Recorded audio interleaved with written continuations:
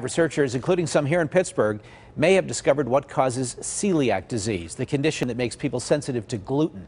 As Brenda Waters reports, it may all stem from a harmless virus. For a local woman who's had celiac disease for the last 10 years, this new research means hope. If there were a treatment that I could take that didn't have a lot of side effects or a vaccine, That's exactly what researchers are working on a vaccine for those who have celiac disease. Not a cure, but a treatment. This is a breakthrough. Dr. Terrence Dermody, the chairman of pediatrics at the University of Pittsburgh School of Medicine, is the principal investigator in this research, and he believes his team and a team of researchers at the University of Chicago may be onto something. It turns out that about a third of people um, have a risk uh, predisposition for celiac disease, um, but only about 1% of people actually get it. That made us think that there was something to trigger the development of celiac disease.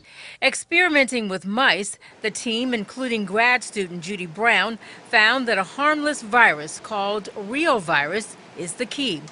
Reovirus is found in all infants but does not make them sick until And we explored whether reovirus infection at the time of a new food being introduced into um, an animal's diet would produce a disease like celiac, and we found that it did. the virus tricks the immune system into thinking gluten is harmful and needs to be attacked. The fact that there may be a treatment is music to the ears and the stomach of Mary Ruth Kovak. can't eat wheat, barley, or rye. Mm-hmm. So wheat's a big one. That's mm-hmm. flour. I miss pancakes.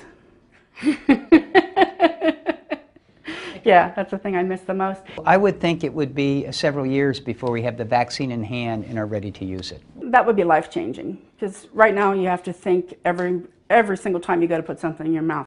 Brenda Waters, KDKA TV News.